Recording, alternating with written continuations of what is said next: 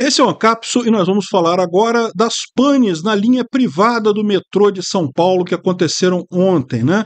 Como vocês sabem, ontem teve greve do metrô de São Paulo que, lógico, só parou as linhas é, públicas, as linhas que são controladas pela empresa Metrô de São Paulo, que é uma empresa pública, e pela CPTM, que é outra empresa pública, só essas que pararam, as privadas continuaram funcionando, e com todo mundo elogiando as empresas privadas, aí teve uma pane, e uma delas ficou várias horas com problemas, só conseguiu voltar depois o trânsito, coisa e tal. Pois bem, a greve acabou, mas ficou essa indagação. Então quer dizer que as empresas privadas têm mais falhas? Será que tem mais falhas mesmo? Será que a falha que aconteceu ontem foi uma falha ou foi sabotagem? Vamos entender. Essa notícia foi sugerida por Imposto de Cu é rola, até que enfim arrumaram esse site, feijão congelado no pote de sorvete e várias outras pessoas. Obrigado ao pessoal que sugeriu as notícias lá no nosso site, o. Agradeço a você e agradeço também ao pessoal que está assistindo o nosso vídeo. Se você gosta do nosso conteúdo, por favor, deixe o seu like e se inscreva aqui no canal, né? Pois bem, então, ontem teve greve no metrô de São Paulo. Então pararam, todas as linhas públicas pararam. É, é, felizmente, no final do dia decidiram encerrar a greve. Foi uma greve absurda porque era uma greve contra a privatização da CETESB, né?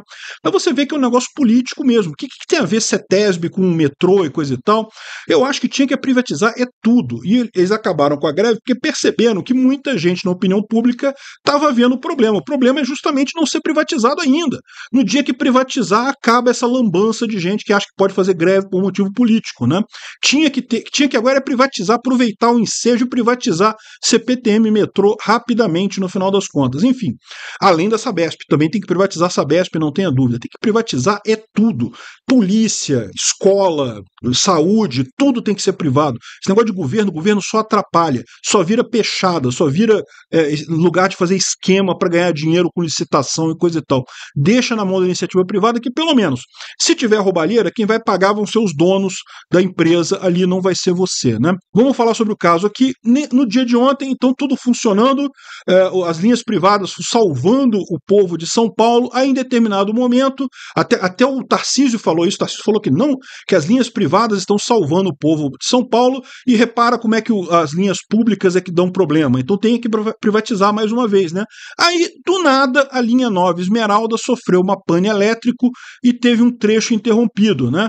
E todo mundo achou estranho, né? Aí o pessoal esquerdista falou: não, Quer saber? Olha só, aqui, ó, tem uma reportagem aqui ó, de 7 de abril de 2023 que fala que as linhas de trem privatizadas têm o triplo de falhas da CPTM em 2023. Aí tem uma estatística aqui, são pouquíssimas falhas.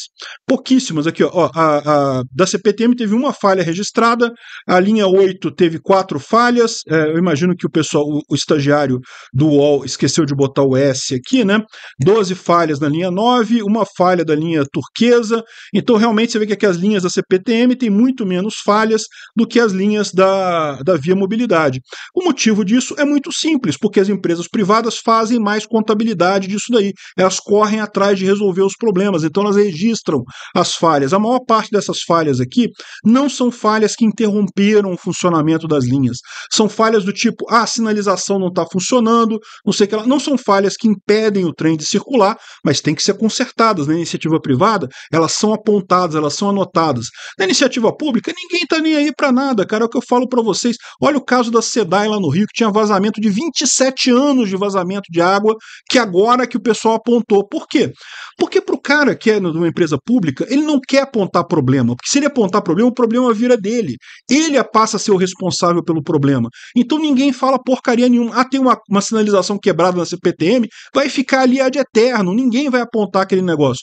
Na empresa privada, não. Pessoal aponta justamente porque quer consertar, quer fazer a coisa correta, né? Então, essas falhas aqui ó, não foram falhas de interromper o funcionamento, né? E o fato de ter menos na CPTM só mostra que o pessoal não tem a proatividade de apontar os problemas que surgem. E no final do dia, ficou claro o que, que aconteceu. Olha só, a empresa responsável pela linha de trem confirma que foi alvo de sabotagem. Olha só, pegaram um, um pedaço de ferro e jogaram no trilho eletrificado, aqui ó, para dar curto-circuito no trilho e interromper o problema lá. Então foi isso que aconteceu. Por volta das 14 horas da terça-feira, dia 3, no meio da greve do metrô, o, alguém invadiu, certamente algum sindicalista puto da vida, porque viu que a greve que eles fizeram deu mais motivo para privatização do que tinha antes. Aí falou: não, quer saber, vou sacanear a, a via lá. Foi lá e montou o negócio, botou uma, fé, uma, uma barra aqui, ó, um cano com um, um uma coisa dentro, né, um cabo dentro, para forçar um curto-circuito, aí derrubou a energia elétrica na linha, aí a linha deu problema. Né? Essas falhas que tem o triplo aqui não são falhas de interromper a operação. Né? O que aconteceu ontem foi sabotagem, mais um motivo para imediatamente privatizar a coisa toda e acabar com essa discussão. Não ter mais esse monte de pelego sindicalista querendo, achando que pode encher o saco de todo mundo na cidade de São Paulo, piorar o dia de todo mundo na cidade de São Paulo, porque eles querem que mais mamata, querem mais benefício, não querem que privatize a coisa. Olha que absurdo isso, né? Privatização já da CPTM e do metrô de São Paulo, de todos os metrôs no Brasil, na verdade. Obrigado por assistir o vídeo até o final. Além de curtir, compartilhar e se inscrever no canal, considere se tornar patrocinador com valores a partir de R$ 1,99 clique no botão Seja Membro abaixo para saber as condições e vantagens de patrocinar o canal. Mais informações sobre o nosso projeto, visite nossos sites indicados na tela.